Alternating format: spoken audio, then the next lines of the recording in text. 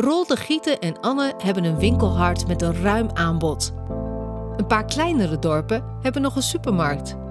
De inwoners van deze dorpen hebben een belangrijke rol gespeeld in het behoud van de supermarkt. Als marktpartijen geen brood meer zien in een supermarkt in Eekst, zet het dorp er zelf de schouders onder. Wij zijn een coöperatie, dus de winkel is van de, leden. We hebben iets van uh, meer dan 300 leden. Hebben we. Dus je kunt nagaan, 1500 inwoners, dat zijn bijna, bijna alle, alle huisgezinnen in het dorp, die, die zijn lid van de coöperatie.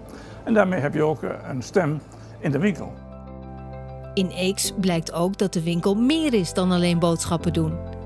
we hebben een kapsalon in de winkel, we hebben een, een, bibliotheek in de winkel, we hebben een postagentschap in de winkel. Dus het, het, heeft, een, het heeft een hele meer functie als alleen maar uh, boodschappen doen. Dus en, en, ja, wij vinden, ook, wij zijn natuurlijk ook een eigen wijsdorp, dus wij vinden ook gewoon dat we een eigen winkel moeten hebben. Als het dorpje zo breed steunt, dan is er reden om vol vertrouwen naar de toekomst te kijken. Een plek waar je, waar je bij elkaar kunt komen en waar je, nou, waar je ook uh, contacten kunt leggen, waar je sociale contacten hebt en krijgt. En dat, dat blijft, denk ik, voor de toekomst uitermate belangrijk.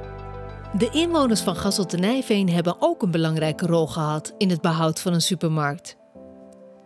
Het dorp wilde een supermarkt terug. Hink had er wel oren naar en heeft met het dorp gedeeld wat hij daarvoor nodig had. Elke inwoner nog maar één keer per week, en dat hoeft er maar één keer per week, je avondeten hier bijvoorbeeld zou halen. Ja, dan heb je meer uh, voldoende omzet om, voor een ondernemer om zijn exploitatie rond rond te kunnen krijgen. En waar een supermarkteigenaar echt blij van wordt? De knoppen waar we hier aan gedraaid hebben, waar we van gezegd hebben, dit gaan we hier uh, opzetten. Uh, als ik nu zie wat het plan toen was, vier jaar terug, nu uh, doen we dit vier jaar. Ja, en dat gaat helemaal niet om geld of inkomen, maar dat gaat gewoon om, om het slagen van, van het plan. Daar word ik heel gelukkig van. Samen ondernemen in een dorp. In Allen weten ze hoe dat werkt. Ondernemersvereniging Anno verbindt ondernemers en inwoners en ondernemers onderling.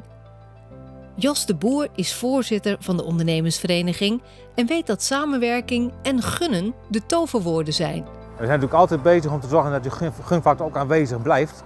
Alleen op die manier uh, blijf je die uh, inwoner van Annen ook uh, in je winkelcentrum houden. En op die manier dan ben je ook verzekerd van die omzet die je daarvoor nodig hebt. En we geven daar ook steeds dingen voor terug. En op die manier krijg je de wisselwerking tussen de ondernemer en de inwoner. Als een groot deel van het dorp de inkopen in het eigen dorp doet, dan doe je iets terug. In Annen doen ze dat doorlopend, maar één keer per jaar op grootse wijze en met een oranje tintje. Nou ja, het, het ding eh, in het jaar waar we kunnen teruggeven is ons hele bekende oranje ontbijt.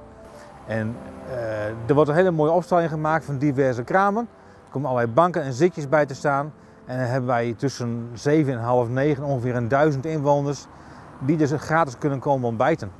En op die manier hebben wij een hele gezellige ochtend voor de inwoners. Allard Hinksman is ondernemer in Annen.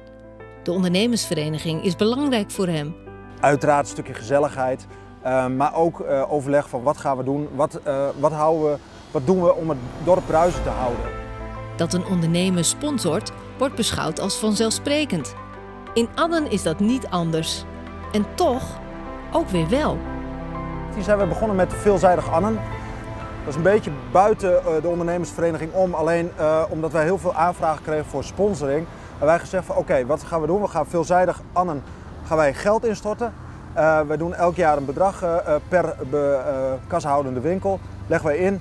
En er worden, ja, worden aanvragen gedaan. Dat kunnen we eigenlijk altijd doorsluizen naar één persoon die verantwoordelijk is voor de kassahoudende winkels. En die maakt de keuze van oké, okay, nou de, de Duivenvereniging wil deze keer een aanvraag voor een sponsorbedrag. Um, en zo kunnen we eigenlijk allerlei verschillende verenigingen, sponsoren, um, dat we dat een totaal pakket van maken. De afgelopen anderhalf jaar is voor veel ondernemers een lastige periode geweest. Allard heeft dat gezien en gehoord.